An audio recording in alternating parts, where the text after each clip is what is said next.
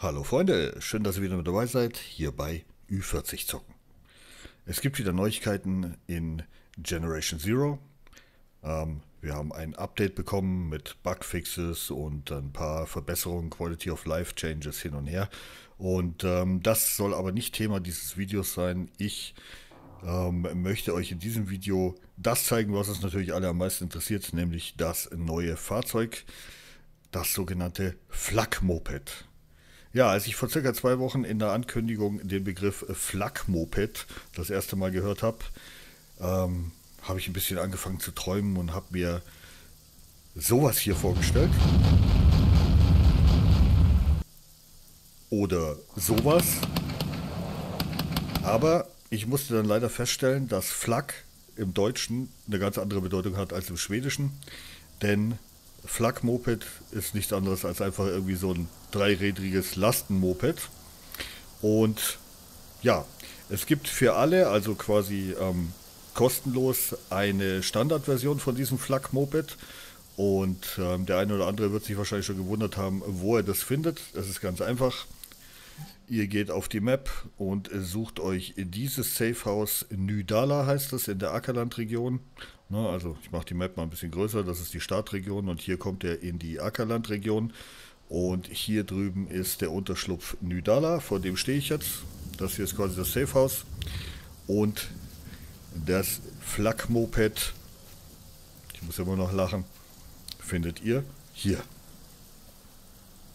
So, und so, das läuft dann genauso wie, ich nehme gleich das Benzin natürlich auch mit, logisch. Das läuft genauso wie bei dem Moped damals. Ihr müsst das quasi als Blueprint aufheben. Und ab jetzt können wir hier oben, ihr seht es schon, wir haben jetzt neben den Fahrrädern und den Motorrädern noch eine dritte Kategorie, das Flak-Moped, ein klassisches schwedisches Transportmoped. Das Flak-Moped, ein vielseitiges und beliebtes Lastendreirad, ist ein gängiger Anblick auf kleinen Inseln, wo größere Fahrzeuge nicht erlaubt sind. Und momentan gibt es das quasi in der unbezahlten Version, also in der kostenlosen Version, sagen wir mal so, in Blau. So, dann spawnen wir das Teil doch mal und schauen, was es so kann in seiner Standardversion. Und im zweiten Teil des Videos gehen wir natürlich auf die DLC-Varianten ein, denn da gibt es auch welche. Ich glaube, mein Flak-Moped bewegt sich schon. Ne, tut's nicht. Okay, los geht's. Ich bin skeptisch. Natürlich macht es einen Haufen Krach, klar. Mhm.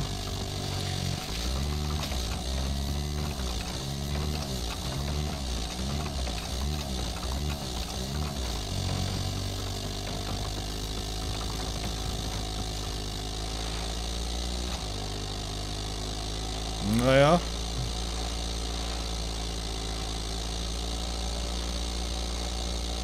53, 50 km/h auf der Straße.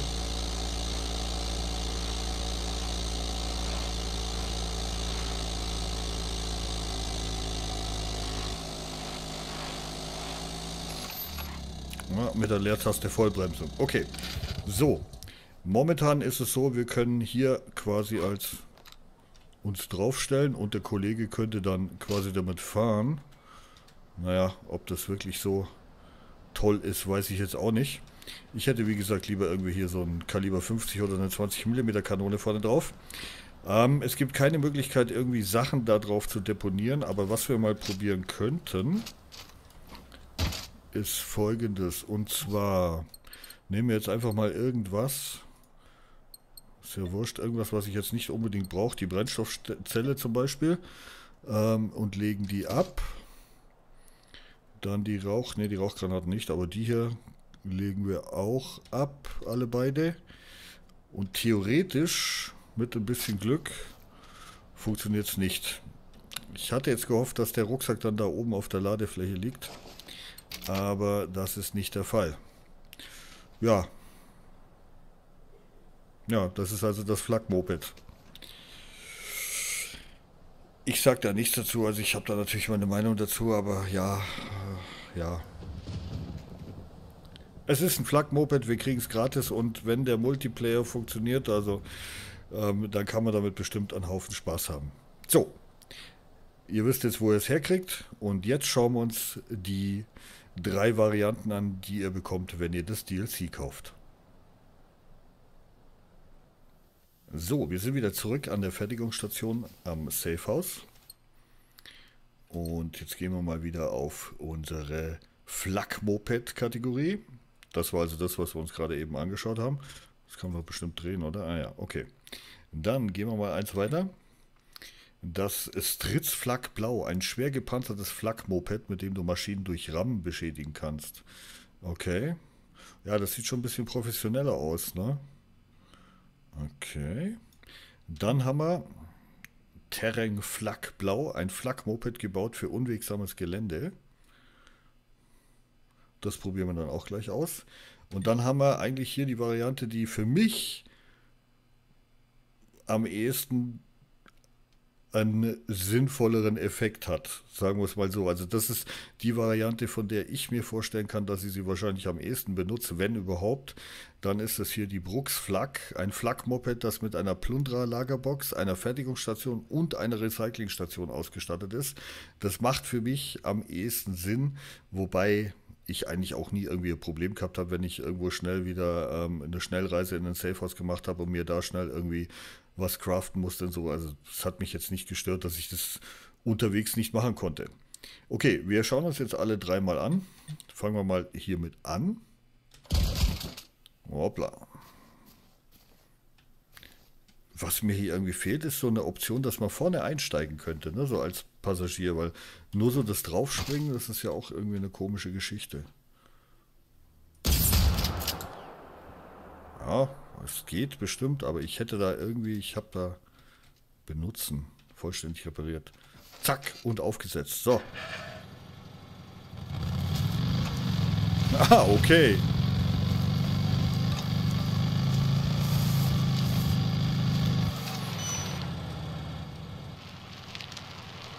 Also das sieht auf alle Fälle schon mal mehr so nach Widerstand aus.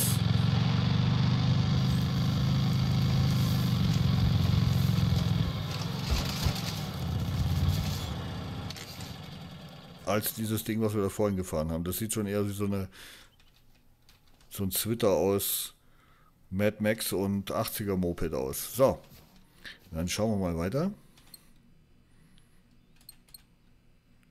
Wir haben das unwegsame Geländeding. Hm, okay, testen wir.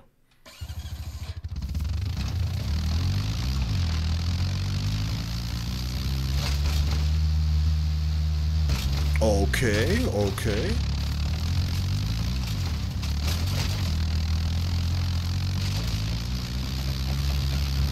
Sechzig km/h auf Marker.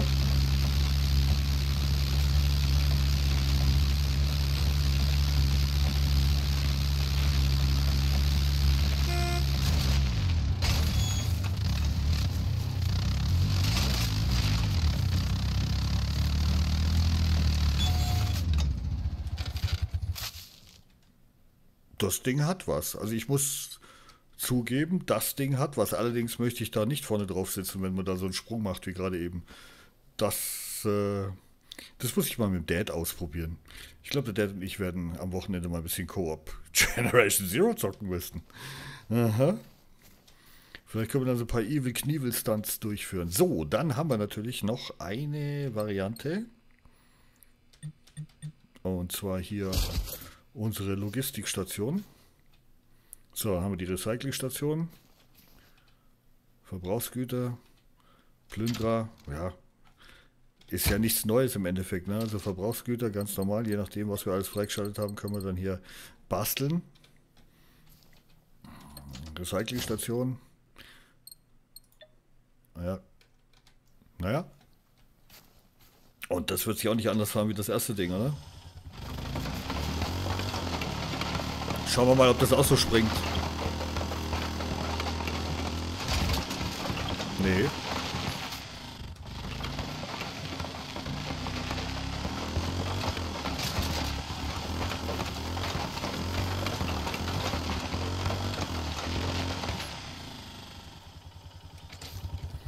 Also, dann lassen wir uns mal ein kurzes Fazit ziehen.